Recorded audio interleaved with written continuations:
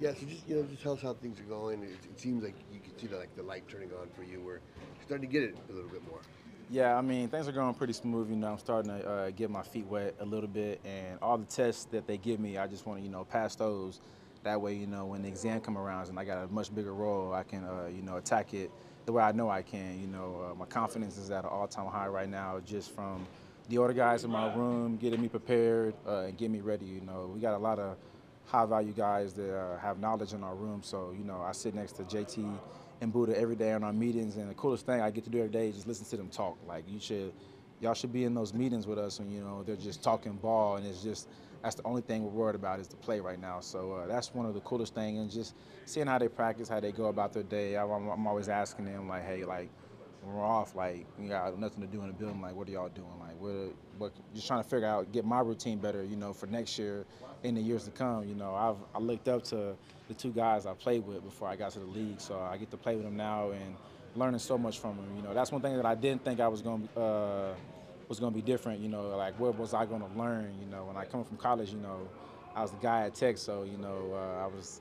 kind of had it made where I was at, and then get here, and then uh, obviously got to start all over. But it was a good it was a good opportunity for me, you know, come in and find out who I am as who I am as a person and as a player when I get here and get all around all my new peers. So.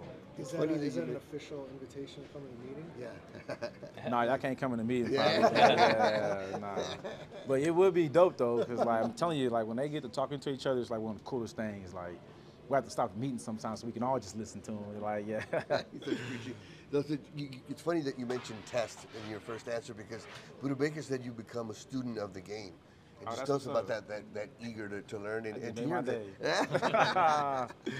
no, yeah, no, that's that's up to all of them, man. I give them uh, a lot of that credit. I'm telling you, they uh, they make sure all of us in that room, you know, me, myself, and all the guys, you know, behind them are on the same page. You know, something gets messed up in their rack, they make sure that we're aware of it, and you know, they're always spreading the game to us, even if it has nothing to do about what we're talking about right now. It's just always educational moments uh, in that room. How would you describe them, just as leaders, just to be around? Say that one more time. How would you describe their leadership style?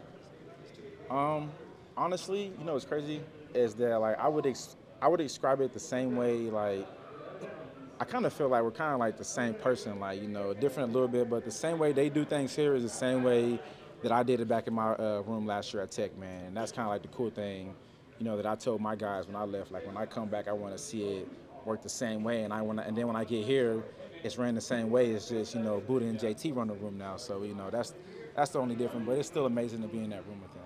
How do you how do you kind of wrap your head around? Mean, you just said you were the guy at Tech, and then here to get defensive snaps, things have to happen. You you got to continue to learn the game. I mean, it's a different role for you. So how do you kind of wrap your head around? Uh, just continue to have a growth mindset. Uh, I don't know it all, so uh, that's one thing. You can't come in and act like you know it all. There's always room for improvement, and I just see like the level. So honestly, I see the level of like play between me and the guys that are on the field now. Like, okay, what's what's the difference? Like the way that they recognize the game so fast. Like it's what I'm trying to give me. Like I'm a, I believe I'm a good player. I believe I can do a lot of things out there on the field. But the way they see things, just the experience they have at this level is a lot different than where I just came from. So uh, just just continue to learn and continue to be you know a good teammate, and then uh, one day yeah, it's gonna be time for Rap to do his thing. Yeah.